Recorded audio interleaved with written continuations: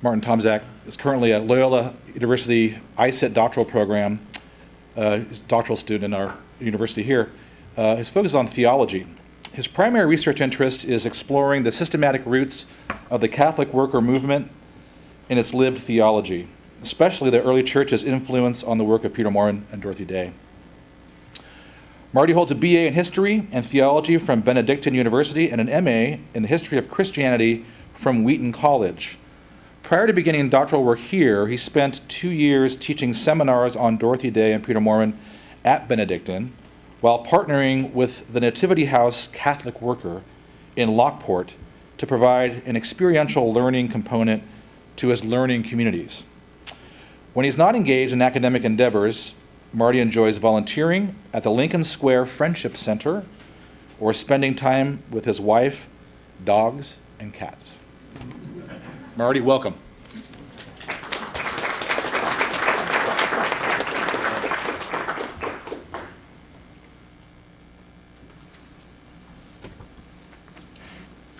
Uh, good morning, everyone.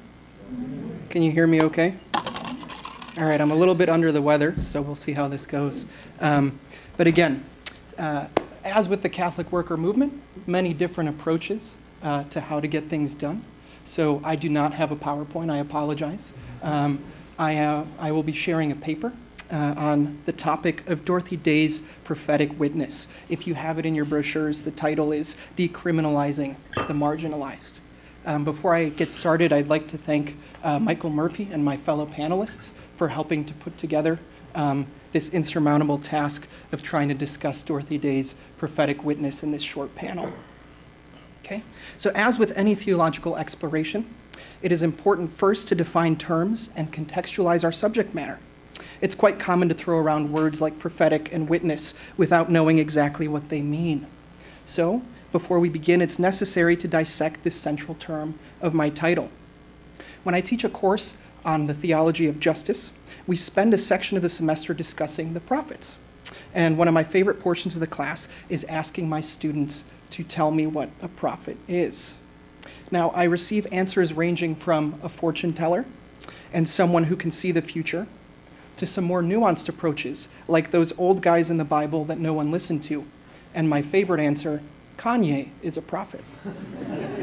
so while some students are on the right track, I provide them with the following definition A prophet is someone who has been called upon to speak for God. The Hebrew word nabi reflects this definition, but we get our English word from the Greek prophetes. It is a combination of the prefix pro, meaning to stand before or in front of, and the suffix phemi, which means uh, to declare. The verb phemi is also closely related uh, to the verb uh, phaino, which means to shine. So, if I can apply a little bit of poetic language to our rather dry definition, a prophet is someone who brings things to light for the community. They literally uh, illuminate others and they provide us with moments of epiphany. Although there are many strains of prophecy present in the Old Testament, an overarching commonality present as we examine those figures and moments of illumination is that they often played a destabilizing and critical role for their contexts. Time and time again, the prophets were sent by the Lord when justice and righteousness had been abandoned, when the poor, suffering, and vulnerable, the, marginalized, had absolutely no hope remaining, when covenants with the Creator had been abandoned, and when the systems and institutions meant to protect and preserve the rights of the most vulnerable had failed. We turn to the New Testament for further clarification of this word. Aside from the use of prophet in reference to John the Baptist and Jesus himself, we also see uh, many other expressions of this word in the beginnings of the post resurrection ecclesia. The most notable example in 1 Corinthians, St. Paul talks about uh, the office of the prophet and prophecy as a gift of the Spirit. So history tells us that uh, while the various heretical cults uh, that arose meant that the function of the official prophetic office ceased to exist, the question remains for us can it be again outlined as a function of the church and as individuals within the church? Uh, well, we need not look further than Pope, than Pope Francis's uh, exhortation, Evangelii Gaudium, and his specific mention of Dorothy Day in his address to Congress to find that prophetic witness is indeed actually a continuing element of both the church uh, and of faithful individuals going into the 21st century. Uh, So we finally turn to a woman who embodied the spirit of prophetic witness to the fullest. Dorothy Day served as a prophet, not in an abstract way, uh, nor did she do so through grandiose acts or unapproachable feats. She did so through everyday acts of kindness and through the adoption of the gospel message as a tangible concept rather than a lofty goal perched in the clouds.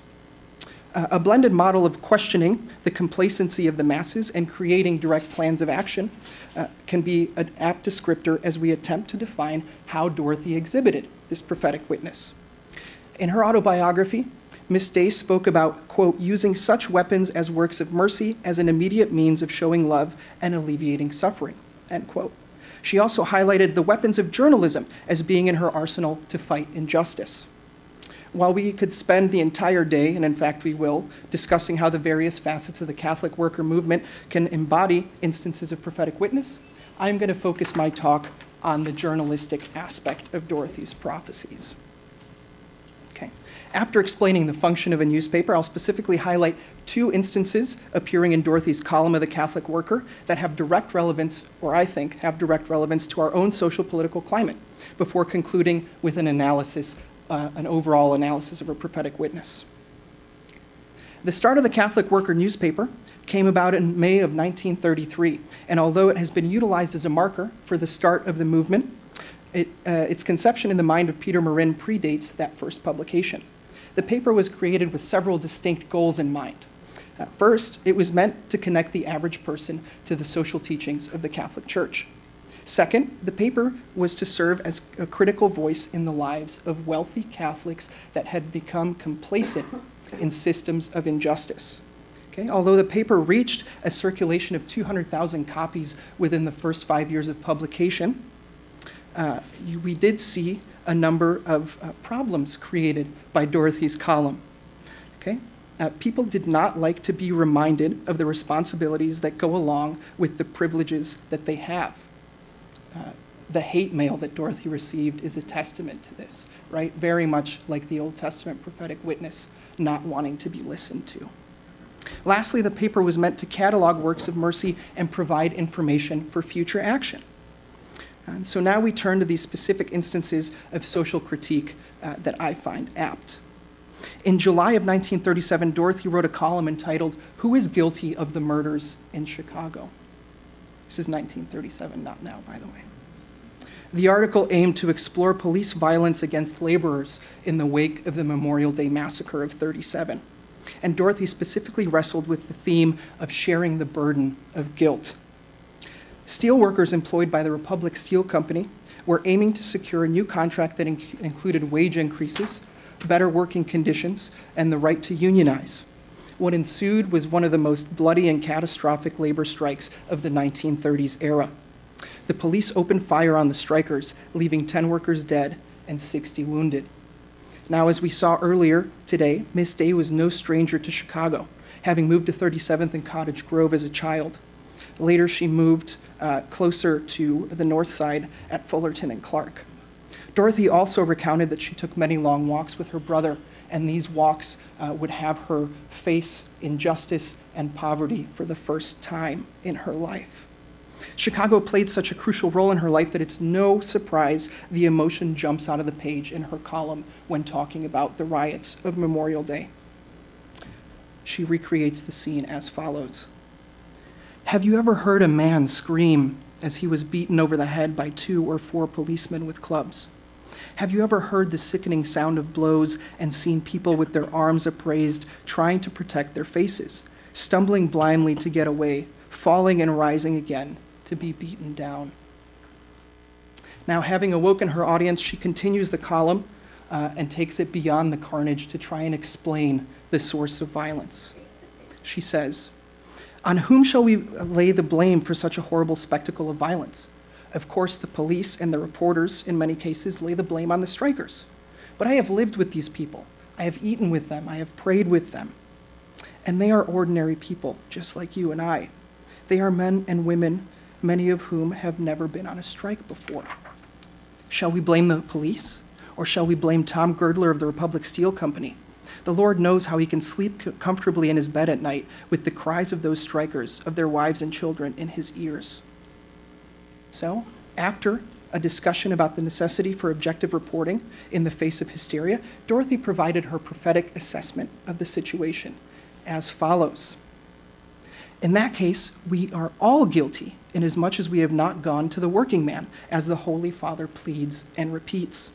Inasmuch as we have not inclined our hearts to him and sought to incline his to ours, so that we could work together for peace instead of war. Inasmuch as we have not protested such murder as committed in the streets of Chicago, then we are guilty.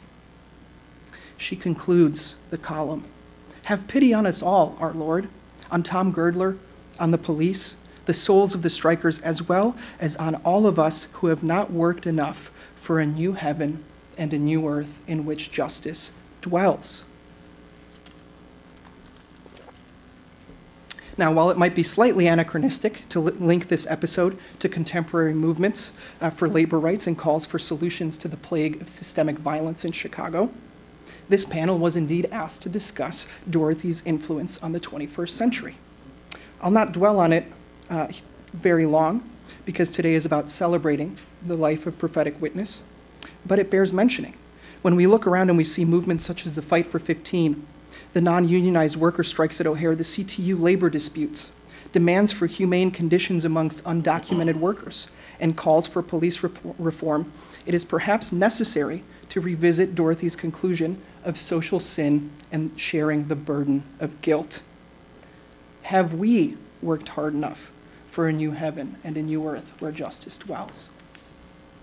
My second example revolves around the Catholic workers' campaigns against racism and segregation throughout its existence.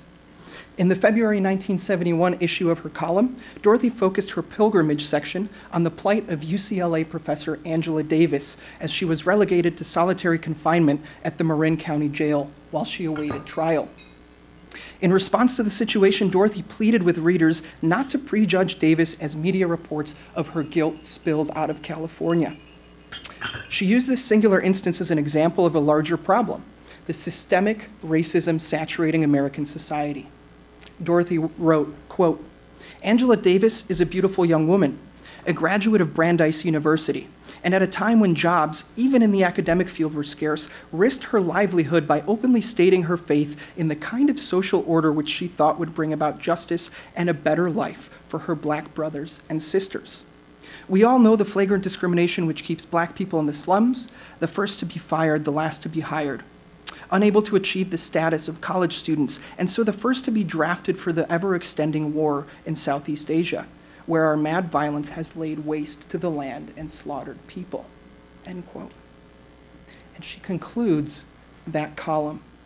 In terms of denying God, how often do we deny Christ in our destitute brothers or in those of a different color?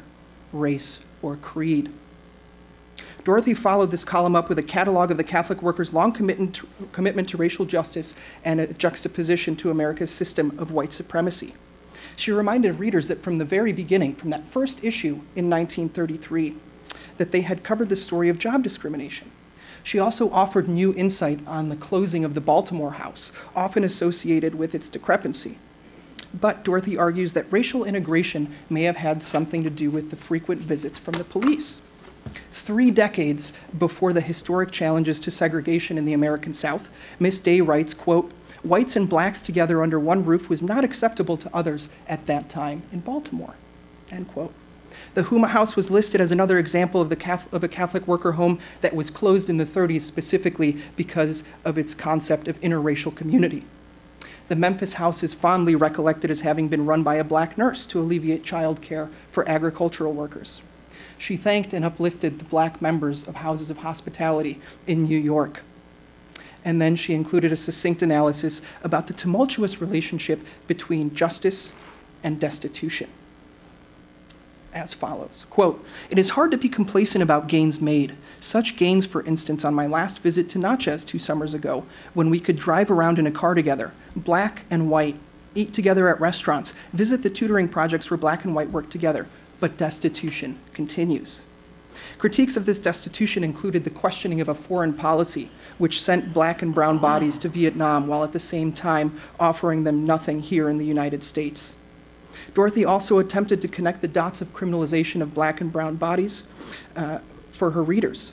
the beatings and torture present in prisons, the lack of support structures for ex convicts when they were released, the refusal of whites to acknowledge guilt or exhibit solidarity, the heavy bail bonds placed upon the poor, okay?